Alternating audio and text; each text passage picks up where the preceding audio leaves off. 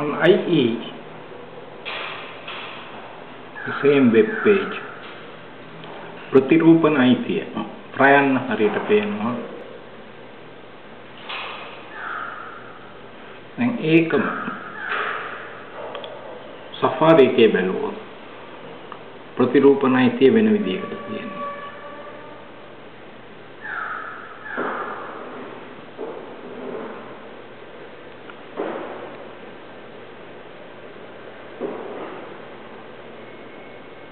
ඒක ශ්‍රියානුමත කළ ප්‍රශ්න.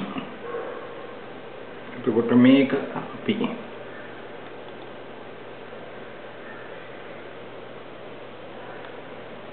අයි එකේ බැලුවොත් ශ්‍රියානුමත කළ ප්‍රශ්න වෙන අකුරු වලින් පේන්නේ.